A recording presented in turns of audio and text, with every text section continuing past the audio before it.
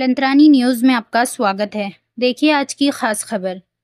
चीन दौरा बीच में छोड़ वापस आई। बांग्लादेश की पीएम हसीना ने भारत के लिए की अहम घोषणा।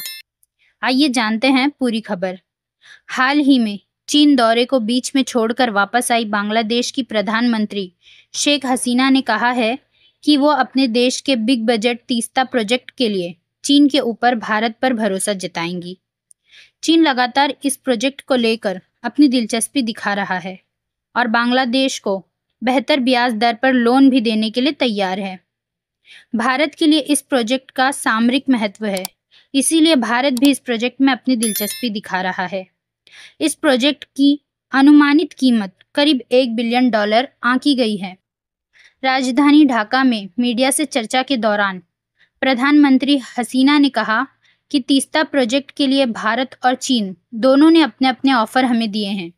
चीन ने इस प्रोजेक्ट को लेकर अपनी रिसर्च कर ली है, जबकि भारत जल्द ही ये रिसर्च करेगा। इसके बाद बांग्लादेश के हित में जो भी फैसला होगा, वो हम लेंगे। लेकिन मैं इसमें भारत को ज़्यादा वरीयता दूँगी, क्योंकि भारत से ही तीस्ता नदी में पानी आता है। अगर वो हमें वो दे रहे हैं जो हमें चाहिए तो हम भी उनको वरीयता देंगे। इस बात से हसीना का इशारा इस तरफ़ था कि अगर भारत ये प्रोजेक्ट करता है तो वो ये सुनिश्चित करेगा कि नदी में पानी का बहाव बना रहे। हसीना ने कहा कि यह डिप्लोमेसी है, इसमें छिपाने जैसा कुछ भी नहीं है। भारत और बांग्लादेश के बीच तीस्ता नदी ही एक इकलौती नदी बची हुई है, जिसके पानी के बंटवारे को लेकर पश्चिम बंगाल की सरकार की आपत्ति के कारण सहमति नहीं बन पाई है। भारतीय संविधान के अनुसार ऐसी स्थिति में प्रदेश सरकार की सहमति ज़रूरी है। 2011 में इस मुद्दे पर सहमति बन गई थी, लेकिन ममता बनर्जी ने इसका विरोध करते हुए कहा था कि इससे पश्चिम बंगाल के हिस्से में केवल सूखा आएगा। तीस्ता नदी प्रोजेक्ट भारत के लिए सामरिक दृष्टि से महत्वपूर्ण है। तीस्ता प्रोजेक्ट भारत के चिकन नेक के करीब है और बांग्लादेश में चीन की उपस्थिति भारत के लिए असहज करने वाली स्थिति होगी।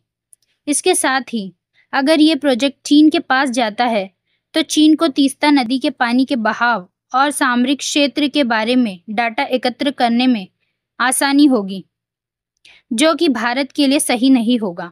इसके साथ ही, प्रोजेक्ट हाथ में आते ही, चीन सिलीगुड़ी कॉरिडोर चिकन नेक के करीब अपने सैनिक रखने की कोशिश भी करेगा। शेख हसीना इससे पहले भारत आई थी, जहाँ पर पीएम मोदी ने इस प्रोजेक्ट के ऊपर अपनी दिलचस्पी दिखाई थी। इसके साथ ही भारत और बांग्लादेश के बीच में कई समझौते भी हुए थे। पीएम हसीना ने पीएम मोदी को बांग्लादेश आने का निमंत्रण भी दिया था। उसके बाद पीएम हसीना चीन दौरे पर भी गई थी, जहाँ पर उन्होंने चीन के साथ कई समझौते पर भी हस्ताक्षर किए थे। ऐसी ही ताज़ा खबरों के लिए देखते रहिए लंतरानी न्यूज़ लाइव। लाइक कीजिए सब्सक्राइब कीजिए और शेयर कीजिए। बेल आइकॉन का बटन दबाना ना भूलिए और देखते रहिए लंत्रानी न्यूज़ लाइव